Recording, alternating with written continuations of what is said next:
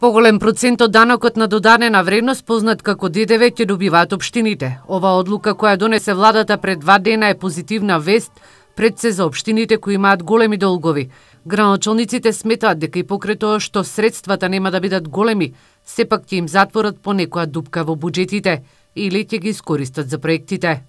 Првично во декември месец разговаравме градоначалниците во владата дека процентот кој што сега го добиваме по однос на ДДВ е многу мал, че некаде околу 4 4%. А од страна од страна на владата разговорот го водевме да процентот на ДДВ биде зголемен барем на 6 или 8% кои што се значително да кажам ќе се дуплира буџетот. Ако општина Пробиштип по однос на ДДВ месечно добива 2 милиони денари, тогаш би добивале околу 4 милиони денари кои што и не е така мала сума. Меѓутоа јас се надевам дека со одлука на владата која што е донесена, формулата по која што ќе пресметуваат и приходите кои што ќе бидат, ќе бидат многу поголеми од овие што се досега и ќе ни помогнат за реализација на и на проектите и за сервисирање на општината.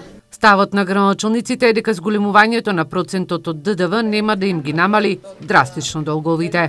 Меѓутоа можеме послободно да работиме и да направиме некои работи во однос на инфраструктурата, секој во својата општина.